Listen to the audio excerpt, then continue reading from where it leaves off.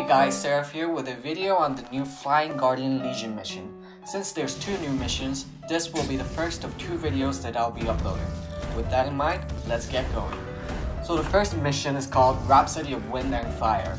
The point of this mission is to get rid of ghosts that are floating around and eventually destroy an evil spirit that's attached to the Great Sky Whale. The method is straightforward. Fly around collecting spears of the same color, and once you reach 10 stacks, you can go near a ghost of a different color and explode them. So if you reach 10 stacks of blue spears, you explode a red spear ghost and vice versa. You also gain flight energy upon collecting spears as well as exploding ghosts.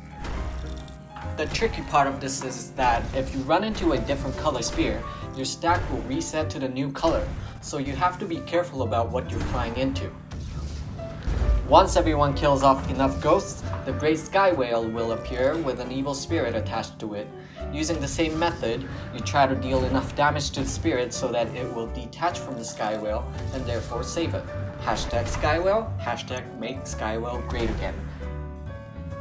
Thanks for watching this video and see you all in the next one.